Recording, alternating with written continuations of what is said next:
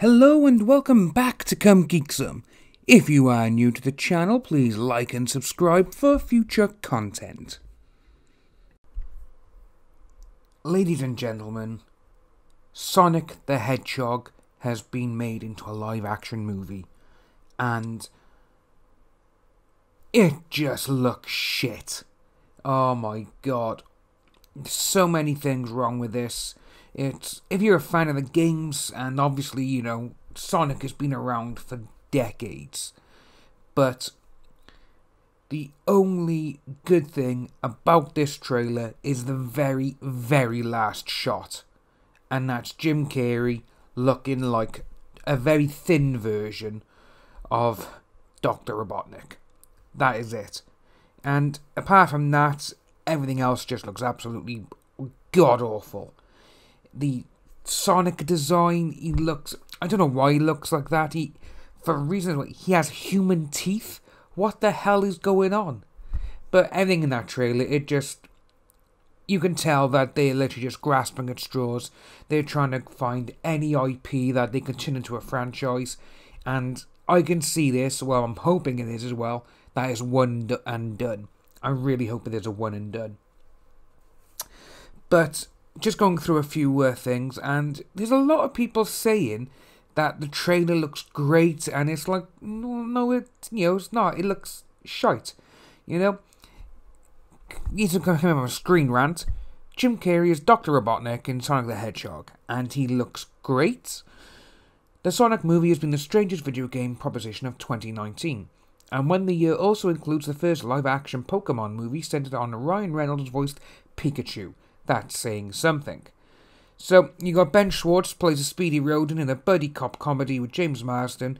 For everyone who wants to know who he is, he actually played Cyclops in the original X Men movies, with a design that has caused a lot of debate as Paramount has slowly revealed it.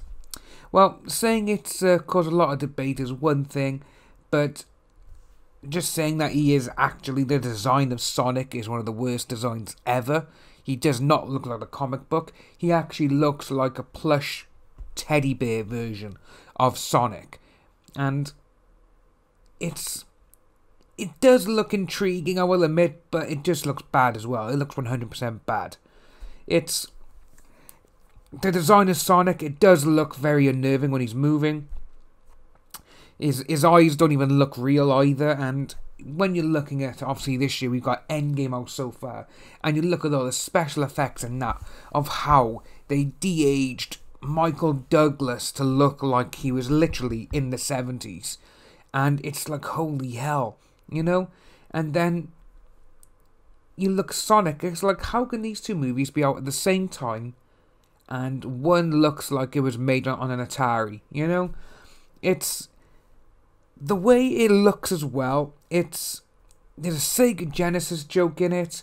There's a lot of slapstick kind of comedy with Jim Carrey talking to people.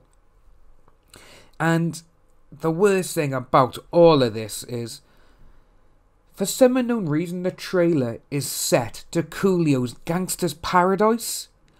What the hell? And you, it's just, it's just a crazy ass trailer. It says, you know, oh, from the producer of The Fast and the Furious. Wow, well, that's gonna do nothing, mate, you know?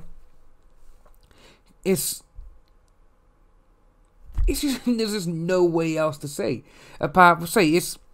There's nothing else. My mind is just not blank. It's just like trying to figure out what the hell I just saw. It's. For a Sonic movie, they should have just went straight up CGI. They should have went that way straight away. But, you know, and for obviously Jim Carrey, he does take center stage in the trailer, which is obvious. You know, he's the big movie star of the film, and you know the very final uh, end, you see him. You know, he looks full Eggman look as well. A big mustache, red costume, goggles, and a smirk. But apart from all that, it's you got a few people says the trailer looks great. It manages to capture everything a live action Dr. Robotnik would need on a visual level, while fitting in with the rest of the film. No, it doesn't. It's, to me, it just looks absolutely full of shit. And it just looks bad. It just looks so bad. You got one at the very beginning of it as well. When you see Jim Carrey with the mustache, he actually looks like his character from Me, Myself, and Irene. You know, it's like Hank has just come over. It's like, come on, what's going on? But apart from all of that, to me, I really hope this is a one and done film, and I just hope this doesn't make any money, to be fair, because they need to get a film which is going to be full on CGI for Sonic. It's the only way that gaming world would work. Same as a Super Mario Brothers film, you know, it's that's the kind of level we're on at the moment. Super Mario Brothers from 1993. That's how bad this movie looks. If you are new to the channel, like and subscribe, hit the notification bell for future updates, and I'll see you soon.